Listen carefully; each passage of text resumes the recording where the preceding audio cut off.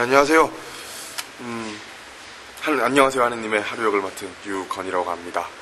어, 가끔씩 너무 촬영이 지금 너무 빠듯해서 인터넷을 잘 할 시간이 썩 나진 않는데 그래도 짬 날 때마다 항상 시청자 게시판이랑 KBS 홈페이지 들어가서 이렇게 모니터도 하고 하는데요.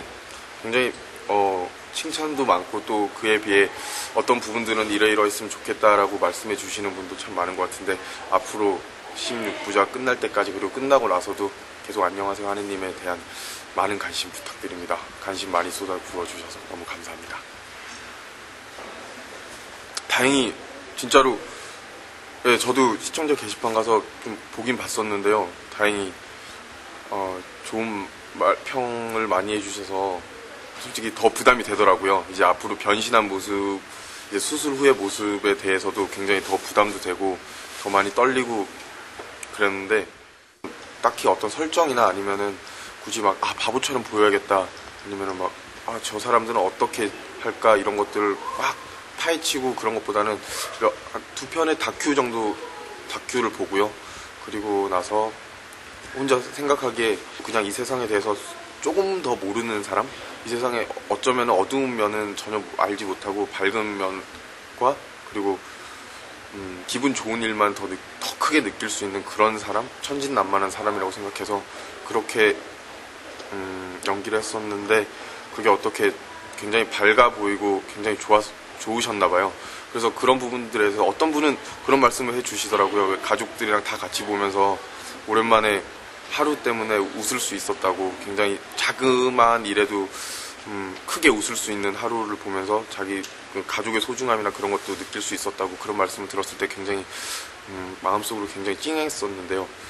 앞으로도 1, 2회를 지나서 3, 4부에서도 변신하고 나, 수술을 받아서 IQ는 좋아지만 여전히 하루의 마음을 간직하고 있는 연기를 쭉 보여드릴 테니까요. 계속 따뜻한 연기 보여드리겠습니다. 기대해주세요. 감사합니다. 천재 연기는 제 생각에는 아 솔직히 되게 굉장히 많이 떨려요. 천재 연기를 너무 바보 연기를 음, 잘한 게 아니고 그러니까 제 스스로가 굉장히 많이 빠져 있어가지고요. 변하는 데 대해서 솔직히 좀 부담이 있는데 이제 서서히 촬영을 하면서 음, 지금 또 잘 적응해 나가고. 예를 들면 스태프분들이나 이제 감독님을 만나면 처음에 1, 2회 때 촬영 때는 안녕하세요 이런 식으로 인사를 했었어요. 근데 요즘은 이제 딱 만나 안녕하세요 네, 이런 식으로 하면은 감독님이나 전부 다 너 왜 그래 막 이런 식인데 잘할 수 있을 거라고 제 자신 스스로도 믿고 있고요. 음, 여러분들이 많이 우려해 주시는 만큼 더 준비해서 지금 지금도 계속 촬영 중이지만 촬영하면서도 계속 준비해 나가면서 음, 그 모습이 굉장히 거부감 들지 않게 어 저건 비현실적이야 이런 느낌이 들지 않게 하도록 하겠습니다. 할 수 있습니다. 어, 태용이 형이랑은요. 태용 형이 또 KBS 부활 하셨었잖아요. 제가 부활 팬이 중에 한 명인데 부활 정말 너무 재밌게 봤었는데 어떻게 이번에는 제가 KBS에서 안녕하세요 하느님 하게 되고 태용 형은 이제 다른 타 방송국에서 음, 다른 드라마를 하게 됐는데 같은 시간대에 부딪히게 됐어요. 근데 음, 둘이서 형이랑 같이 편집실도 왔다 갔다 했었거든요. 둘이 같이 타방송 그쪽 편집실 가서도 보고 태용 형도 와서 제 것도 보면서 서로 모니터링도 해주고 서로 이런 부분이 이랬으면 좋겠다라고 해주는데 음, 솔직히 저는 기분이 되게 묘하면서도 너무 감사해요. 태용이 형한테. 태용이 형이 이렇게 가끔 문자나 연락 주시면서 장난스럽게 야 너무 잘하지 마라 안 된다 이러면서 문자를 보내시는데 그 마음들 하나하나가 굉장히 따뜻하게 다가오고요.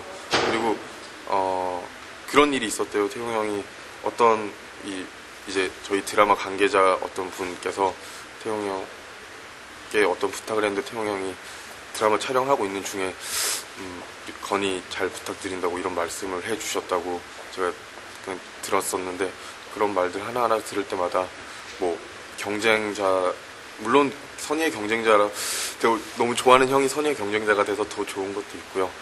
그렇지만 음, 안녕하세요 하느님을 더 많이 사랑해 주셨으면 좋겠습니다. 그 제목 말하면 안 되죠? 그것도 많이 사랑해 주세요. 음, 부활했던 연기자는 저쪽에서 이걸 찍고 있고 그다음에 이제 부활 스태프들의 연기자의 싸움이라고 하는데 뭐 싸움이라기보다는 굉장히 음, 좋은 어, 모습인 것 같아요. 그래서 음, 스태프분들은 굉장히 저한테 그런 말씀 많이 하세요. 부활 태웅 형 이후로 음, 또 같은 사무실에서 좋은 연기자가 나올 수 있는 기회가 되지 않았나 그렇게 말씀해 주시고 또 굉장히 친분도 굉장히 좋아진 상태라 제가 스태프분들한테 막 형, 형, 이러 제가 다 어려서요. 제가 어려서 형, 형 이러면서 붙어 다녀요. 그래서 음, 부활 팀들이라 더 친근한 가운데서 또 제 스스로도 굉장히 형 형 하면서 쫓아다녀서 지금은 너무너무 편한 상태로 촬영에 임하고 있고요. 그리고 태웅 형 칭찬도 가끔 이렇게 잘해주셔서 또 속으로 굉장히 음, 더 잘해야겠다는 음, 태웅 형이 이렇게 쌓아놓은 그런 음, 기본적인 것들을 또 제가 망가뜨리지 말아야겠다는 그런 생각이 들기도 하고요. 네, 너무 좋아요. 지금 분위기는. 예, 어, 안녕하세요 하느님. 음, 3회에서는 제가 수술을 받고 IQ가 조금 더 좋아져서 올라옵니다.